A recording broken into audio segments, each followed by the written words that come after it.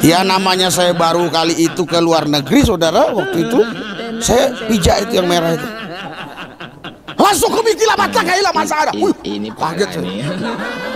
Uh, mundur saya. Setelah selesai mereka diperiksa baru. Lama yuk, lama yuk. Saya datang. Ditanya, lah kamu Yumi tak kalahin ah. Ini Orang kosong. Langsung saya spontan jawab, ayo itu kulah hasik ini milah hatama, aku pikir anu milih bahante. Lah Yumi nama se, kamu yuru betala ini. Aku bilang. Ini, ini parah nih. Ada kami mungkin hampir lima menit berdialog. Saya nggak tahu, yang yang saya tahu kami ngomong. Saudara dia catat, dia Ini ketik, cocap. yo musik ya mah, ini nama musik kalah, pokoknya mati kalah. Kita ketawain MU nih yuk. Yep. Op. Assalamualaikum warahmatullahi wabarakatuh Selamat malam teman-teman. Jumpa kembali di Al Ayubi Channel. Apa kabar semuanya? Semoga kita senantiasa dalam lindungan Allah subhanahu wa ta'ala. Amin Ya Rabbal Alamin. Tak henti-hentinya pendeta yang satu ini Membuat lawakan saudara-saudariku Yang membuat sensasi di depan jamaatnya Di dalam gereja pula. Pendeta ini ya eh, niatnya sih ingin mengune- mengumandangkan eh, azan subuh. Ya tapi seperti biasa teman-teman. Orang yang eh, bukan berasal dari Islam mengaku mantan Islam lidahnya itu pasti kaku teman-teman. Ya yang seharusnya as-salatu khairum minan naum minan naum oleh pendeta ini dibaca as-salatu khairum minan naum kocak ya. Dan di depan jemaatnya pula saudara-saudariku pendeta ini kembali mempraktekkan bahasa roh. Seperti apa videonya? Kita simak videonya. Saudara tadi jam 3.40 ya. Pagi saya udah bangun Saya pindah kamar untuk doa. Gak lama kemudian Saya dengar itu. As-salah As-salatu khairum minan naum pakai hak, pakai hak kan teman-teman.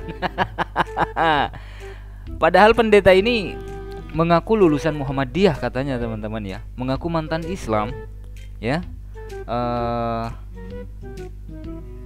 mengucapkan atau melafalkan as-salatu khairum minan naum saja tidak bisa. As-salatu khairum minan naum katanya teman-teman. Ini semakin membuktikan ya, semakin membuktikan bahwa lidah orang ini tidak terbiasa dengan eh, bahasa Arab saudara-saudariku. Saudara itu hanya ada di sholat subuh loh Di sholat lain nggak ada itu Ya artinya As-sholah Marilah sembayang As-sholatu khairum minan naum. Lebih baik sembayang daripada tidur. Nah ini jemaat ke mana semua? Berarti lebih baik tidur daripada sembayang Yang Ya secara tidak langsung ya pendeta ini menampar jemaatnya sendiri. Atau bisa menampar dirinya sendiri teman-teman. Kalau di Islam itu kan eh, sholat itu lebih baik daripada tidur. Kata pendeta Rizwi Lubis jemaatnya tidur itu lebih baik daripada sembahyang katanya.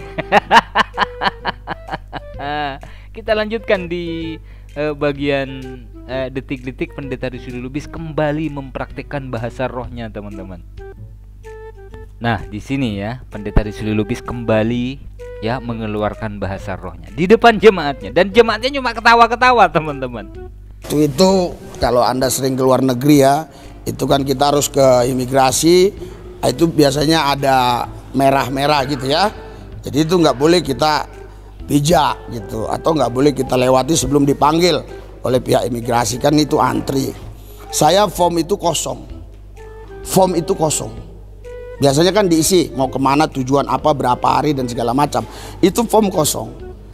Nah, ya namanya saya baru kali itu ke luar negeri saudara waktu itu saya pijak itu yang merah itu. Langsung ke Miki mata kayak masa ada. Wih, kaget saya. Uh, mundur saya. Setelah selesai mereka diperiksa baru lama yuk lama yuk saya datang. Ditanya lah kamu Yumi tak kalahin ah. orang kosong Langsung saya spontan jawab, ayo itu kula hasik ini milah atama lahu pikihanu milih bahate. Layu bina masih, kamu yurubi ta'ala ini aku bilang.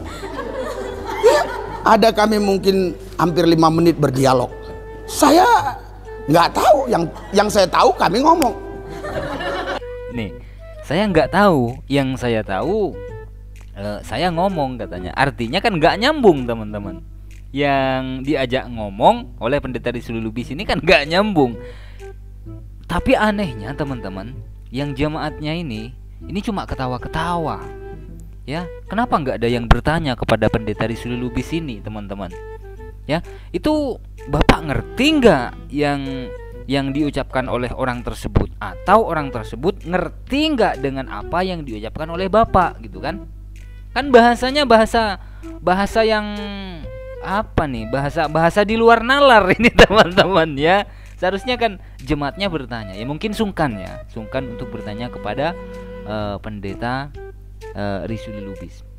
Kalau berbicara masalah bahasa yang diucapkan oleh pendeta Risuli Lubis tadi ya saya yakin seandainya pendeta Risuli Lubis ini diminta untuk mengucapkan kembali apa yang telah diucapkannya tadi, saya yakin pendeta Risuli Lubis tidak akan mampu mengucapkannya lagi, teman-teman. Saudara dia catat dia ketik cocap layo musik ya mah hina lama sikala buku ya mati kala. Iya. Saya berangkat saudara. Saya berangkat. Saudara tahu saya saya panggil taksi lamu yulube lamu yulube ya dia datang tentunya ini saya spontan juga ngomong seperti saya juga tidak tahu apa yang saya omongkan di sana tuh pendeta Rizuli Lubis saja tidak tahu apa yang telah diucapkan oleh pendeta Rizuli Lubis pendeta ini nggak tahu dengan ucapannya sendiri bagaimana dengan orang lain tentunya tambah bingung lagi Kan gitu saudara-saudariku. Ini nalar ya, ini nalar. Tapi nanti ada kaitannya dengan firman. Terus ada, dia ada ada kaitannya dengan firman katanya teman-teman. Dan di video yang lain teman-teman, ini yang paling fenomenal dari pendeta di Lubis. Nah, di sini Tiba-tiba saya bahasa roh bisa gitu loh. Kering kun tangkang sang kelang katok ke bele betang karang katang kamling. Talung kata kong hanting ke lemek tangkang. Kromo sekolah ketong lang katok ling ketangkang lu kong lu kong lu tengking. Ternyata waktu saya cerita-cerita dekat-dekat mereka bahasanya mirip-mirip. Pas mirip-mirip begitu. Ingatlah kalau orang orang apa ngomong? Orang Thailand gitu.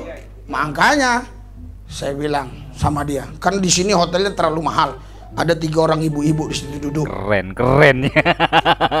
Sama nih, yang di sini jemaatnya ketawa-ketawa, yang di sini jemaatnya juga ketawa-ketawa. Tapi sayangnya ya, di antara jemaatnya ini nggak ada yang bertanya kepada pendeta Risuli Lubis.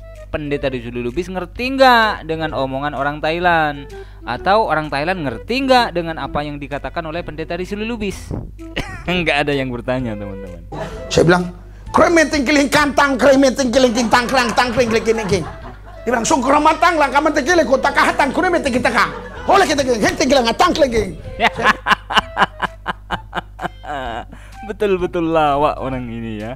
Di dalam gereja di depan jemaatnya kerap kali ya. Uh, atau ya katakanlah sering ya mengungkapkan bahasa-bahasa yang tidak jelas gitu kan yang tidak dimengerti oleh orang lain. Jangankan oleh orang lain dirinya sendiri nggak ngerti apa yang diucapkan oleh pendeta ini. Kan kocak teman-teman. Aduh pendeta yang satu ini uh, langka ini teman-teman ya. Uh, pendeta langka ini. Wajib dilestarikan ya pendeta seperti ini. Mohon maaf Apabila ada silap kata, wassalamualaikum warahmatullahi wabarakatuh.